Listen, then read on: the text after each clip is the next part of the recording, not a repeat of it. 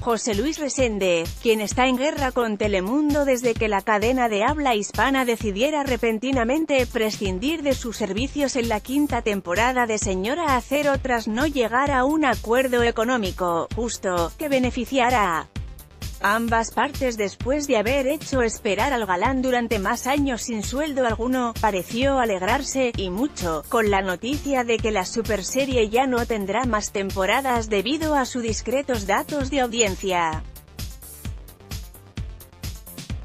El actor mexicano interpretó el inminente final de la ficción como un castigo a la cadena por los abusos que según él, sufre el medio artístico por parte de los monstruos televisivos. Ya vi por ahí a varias criaturas llorando que les llegó el final pues era de esperarse, cuando algo ya no da para más es mejor terminarlo. Espero que la gente, el público, se dé cuenta del poder que tiene. Total quedó más que claro que al que obra mal se le pudre el tamal, expresó en sus redes sociales Reséndez quien semanas atrás anunció su retiro de la televisión abierta mexicana como protesta ante los trabajadores que como él sufren este tipo de abuso por parte de las empresas y no son recompensados por su excelente trabajo y su carrera o su trayectoria y su esfuerzo.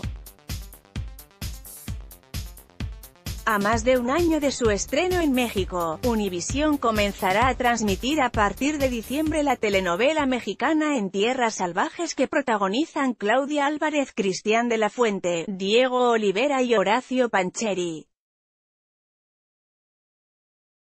El melodrama narra la historia de Isabel Montalbán Álvarez, una chica de la gran ciudad que se traslada al pueblo en el que viven los padres y los dos hermanos de su marido, Aníbal Otero, Diego Olivera. Allí, en la casa familiar y en la clínica que dirigen, Isabel podrá recibir el tratamiento que necesita para recuperarse de un padecimiento respiratorio.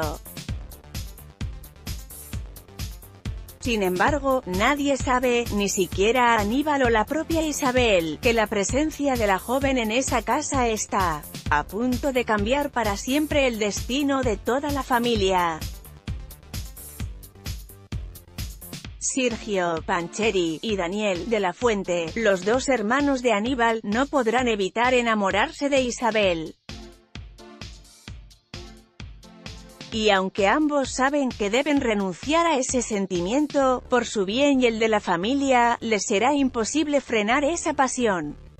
El hijo menor de Humberto Zurita y Christian Bad, Emiliano, concluyó el pasado viernes las grabaciones de su primer trabajo en la televisión, la quinta temporada de Señora Acero, Telemundo.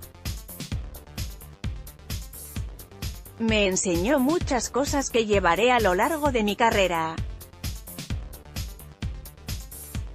Mil, mil gracias a todos los que ayudaron a crear este proyecto y a todos ustedes que lo mantienen vivo.